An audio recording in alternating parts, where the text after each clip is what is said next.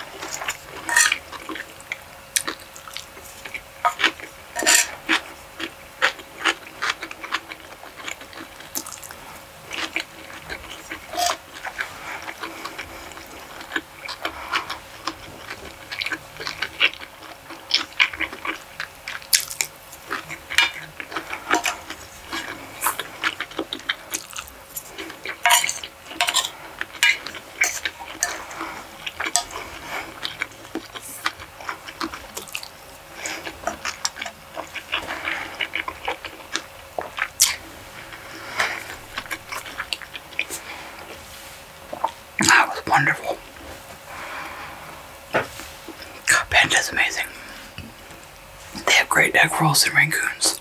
Delicious. String bean chicken and steak. Thank you so much for watching. If you want to support my channel, check out my Patreon. I'll see you next time.